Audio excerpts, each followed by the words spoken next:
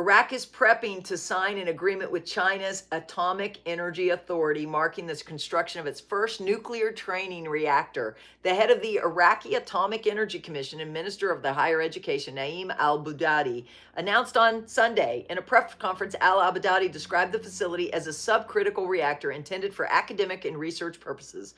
The project aims to build the capabilities of students and researchers in nuclear physics and peaceful radiation technologies. Love it because it's clean if it's done right. Um, the project aims to build the capabilities. I already read that. This is a milestone, a miles, another diadem in their crown. This is a milestone for Iraq's scientific infrastructure and a step toward restoring our nuclear research capacity on peaceful terms, he stated.